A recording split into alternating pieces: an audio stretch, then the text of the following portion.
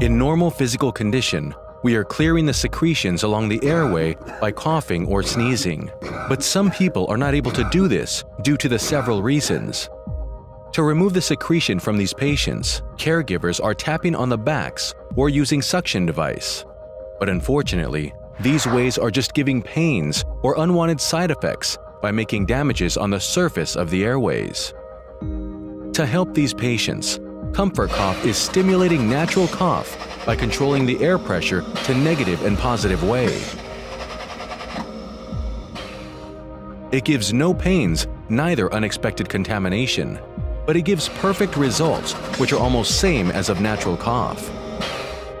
Comfort Cough is consisted of main body and patient circuits with filter, tube, connector, and mask. Comfort Cough is also applicable to the tracheal tube directly.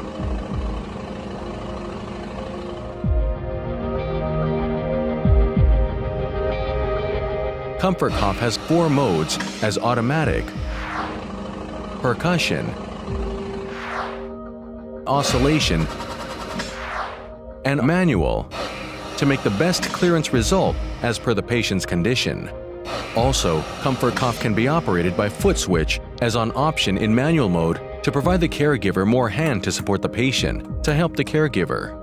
Oscillation mode is not independent function, but can be used with automatic and manual mode. This function is giving vibration during inhaling or exhaling, or both process, and shaking off the secretions to clean the airway more easily.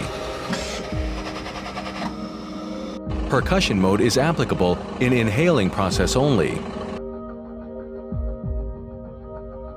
And this mode is designed to give more physical impact on the airway to shake off the mucus. In percussion mode, specially designed exhalation valve must be used to release out the overflow air.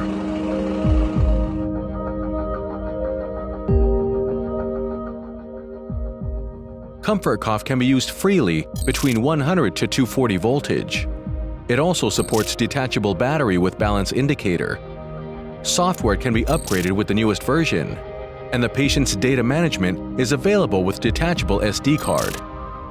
To avoid the contamination, the patient's circuit can be stored on its holder.